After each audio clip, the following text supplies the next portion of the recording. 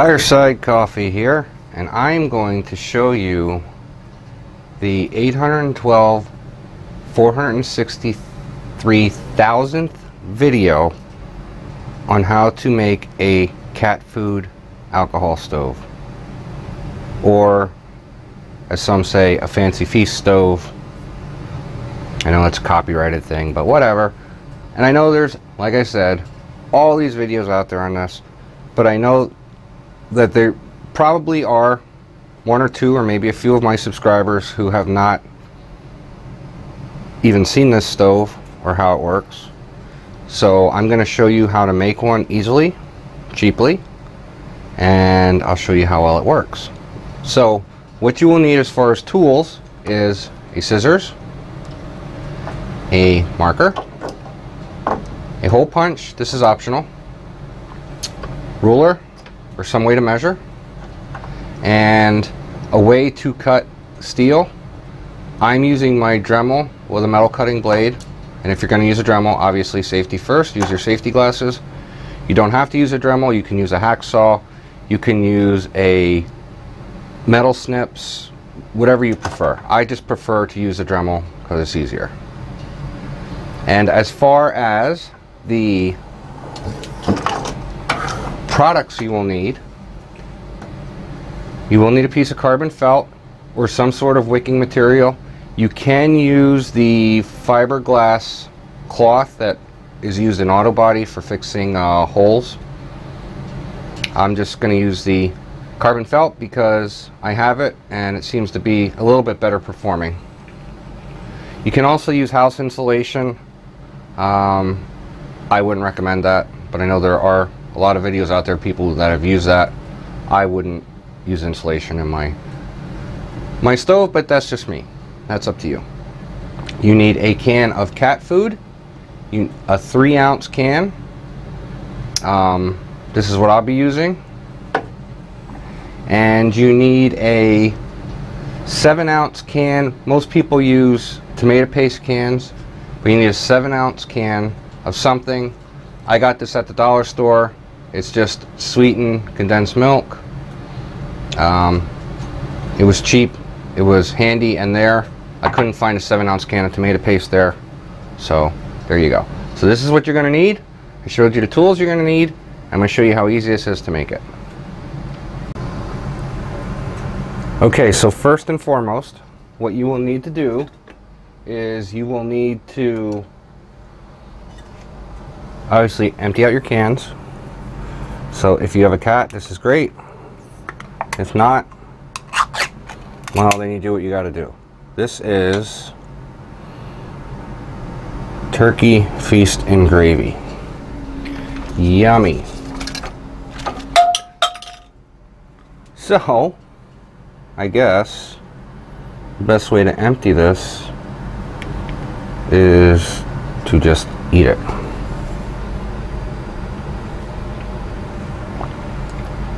Um, it's actually pretty good. It's not bad at all.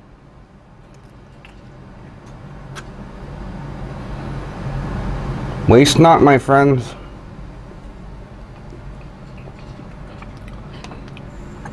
It's actually really good. Turkey feast and gravy. I actually might get some more of that.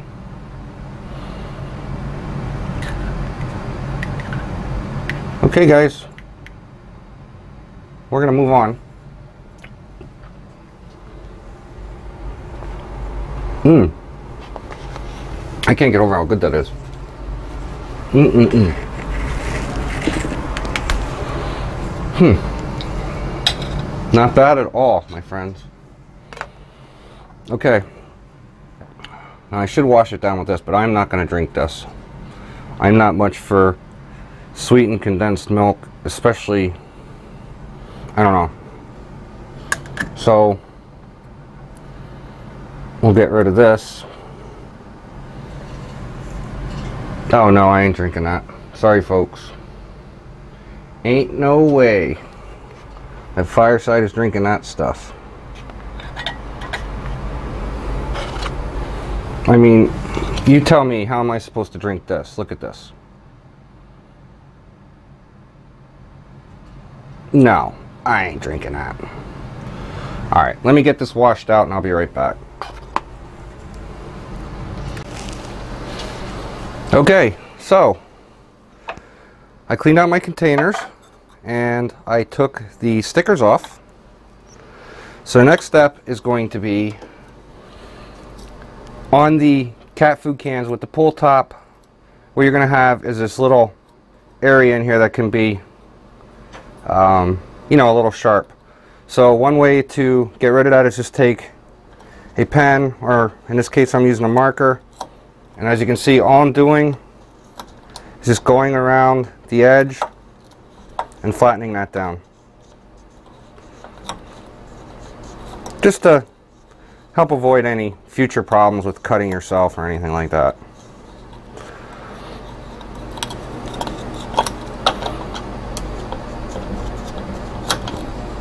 Doesn't have to be perfect, doesn't have to be all the way down. As a matter of fact, if you leave it up a little bit, it will help to hold the carbon felt in.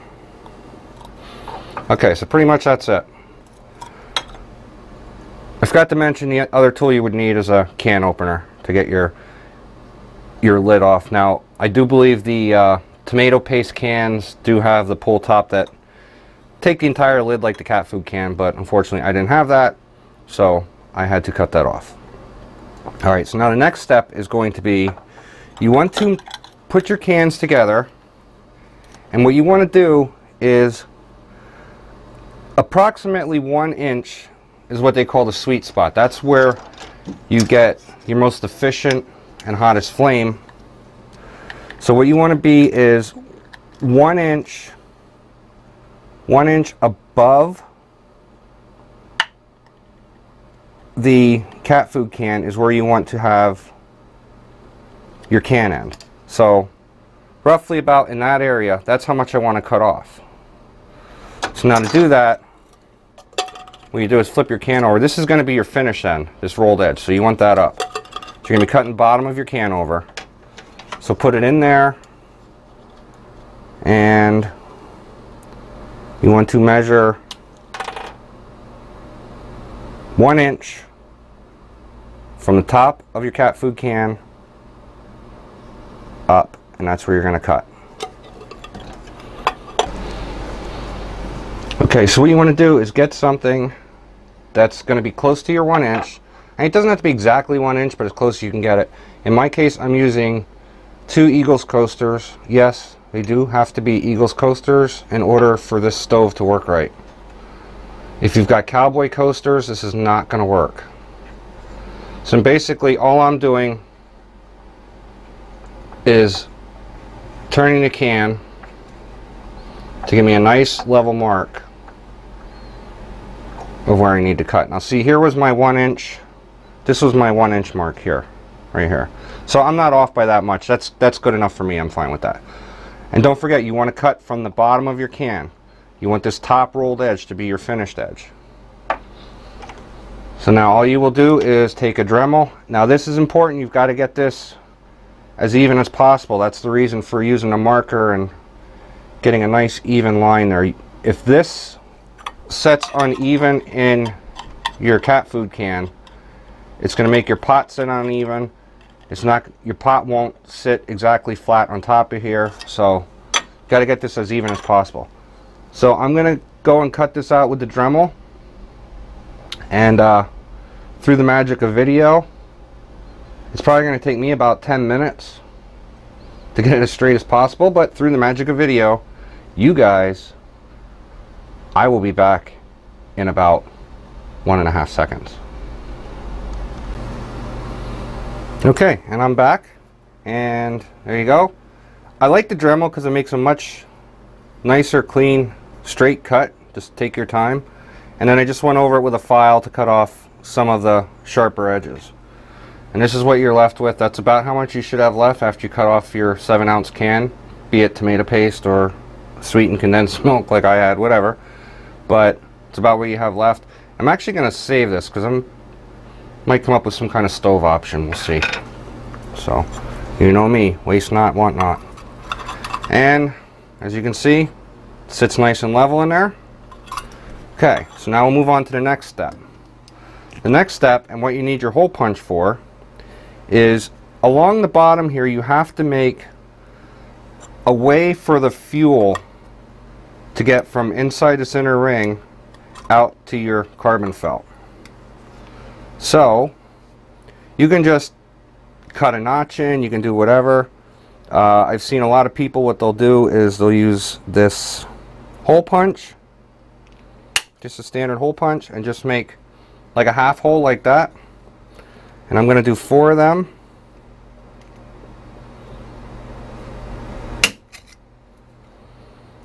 And this way it will guarantee you that you can get your... Well, that one didn't work so well.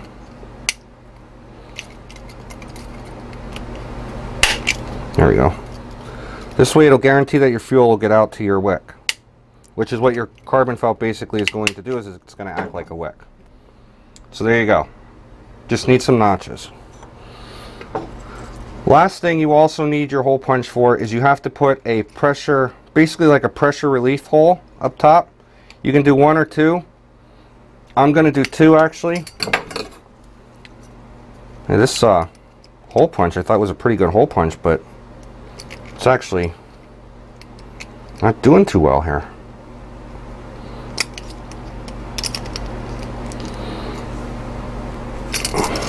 No, it's not. Actually, I think I'm bending the darn thing. Oh! Uh-oh. Well, I don't think I needed that part anyway. Let's see.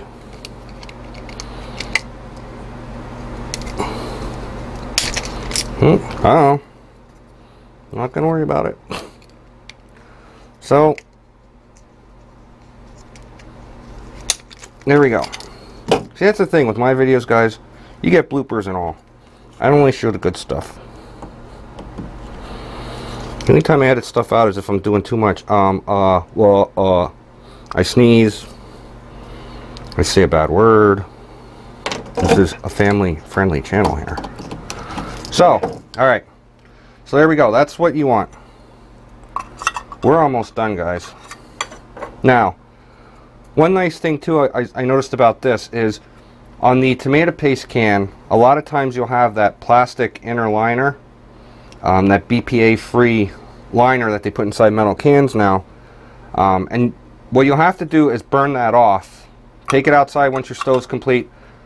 Put some fuel in it, light it up, and let it burn off for a while. Maybe even burn it off twice just to make sure you get all that plastic lining out. Now with this, it doesn't have that, so that's actually a pretty nice, pretty nice advantage to using that condensed milk can.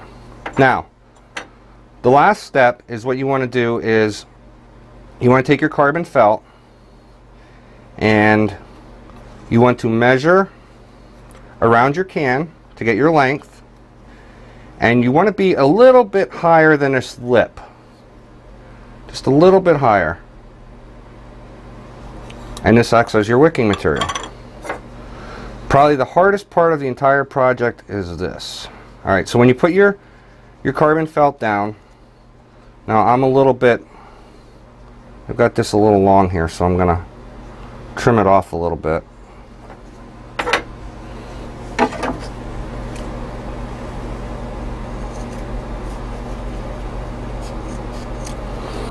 Make sure your carbon felt is covering these holes that you allow the fuel to go through. You need your your felt to be around there. Actually, it's still a little long too.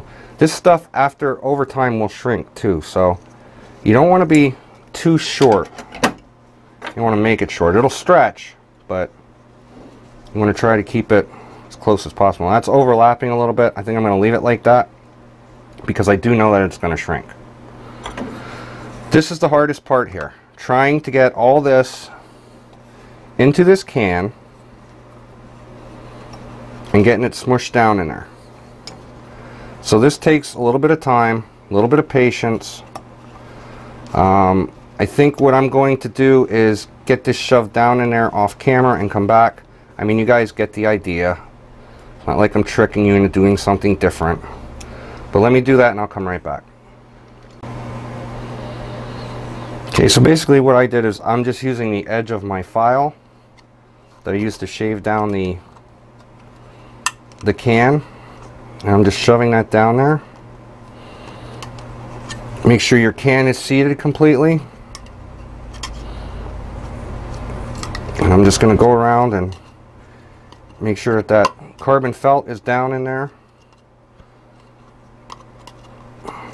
Double check, make sure your can's seated.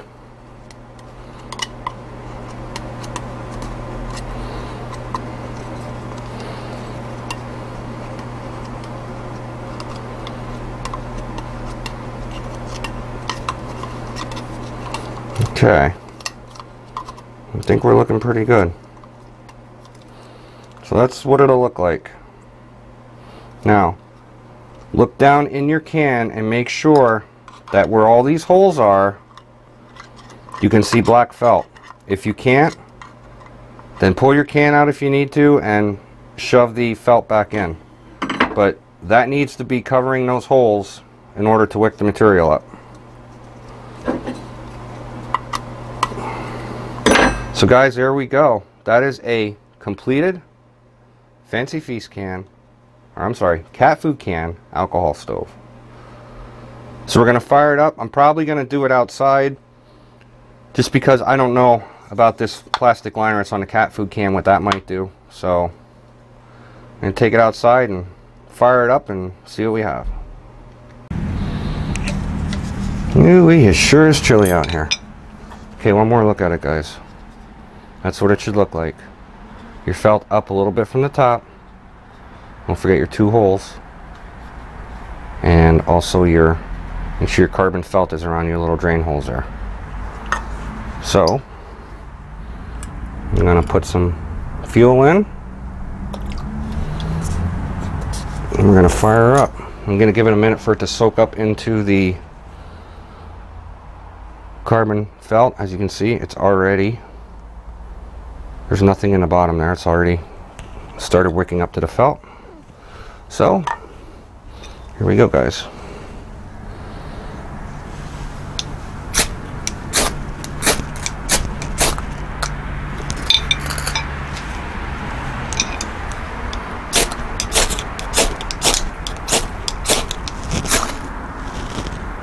Um, not quite burning yet. Give it a little bit more. This is a new a new carbon felt, so the wick's kind of dry. I think we're going to be all right now. Yep, there we go. I just didn't give it enough time. So, you're not going to be able to see this well because it's a clear, clean burning flame. And trust me folks, that is burning. So I don't know if there's a way that I can show you the flame. I don't know if that helps. Bring you down a little bit. Alright, I just brought you down a little bit. I didn't know if you were going to be able to see that flame or not. Maybe now you can. So there you go. And like I said, all I'm going to do is let this burn for a while. And uh, I'm gonna let it burn out and I'll probably put some more fuel in and let it burn more. And that will burn off any impurities on those cans. And that's it guys. We will do a boil test. I will show you how well these stove works. They are actually one of the best if not the best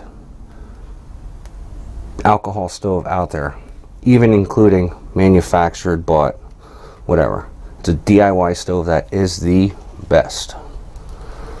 So I'm going to do some burn offs on it, let it burn everything out, let it cool back down, and then we'll do a boil test. Be right back. Okay, so as promised, we're going to do a boil test. I have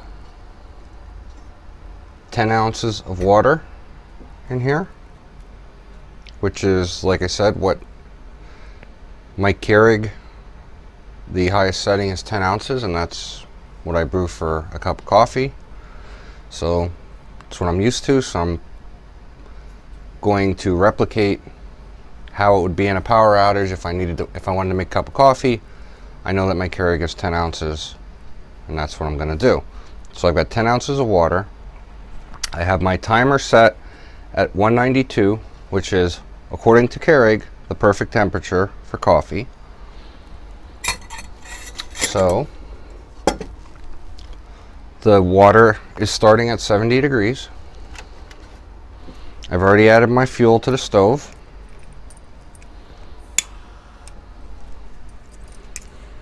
And that is lit.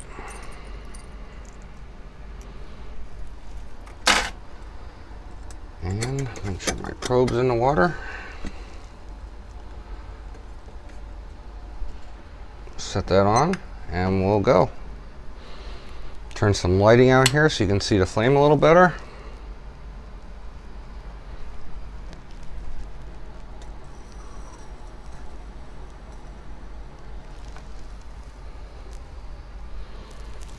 And we'll see where that goes. Once again, 192, 10 ounces of water starting at 70 degrees.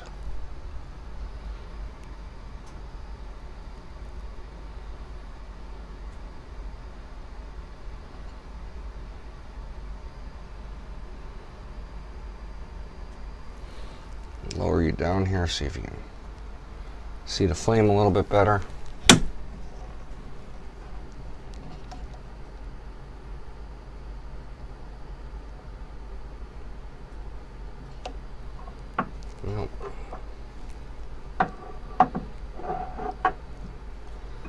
Sorry guys. trying to get you down there to see the flame a little bit better. There we go.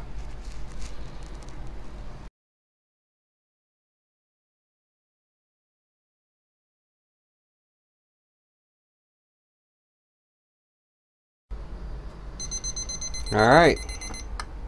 Four minutes, 18 seconds. Not bad. These stoves are great. Now you know how to make them. They're easy. They're cheap. So there you go. All right, everybody. Thanks for watching. Take care. And God bless.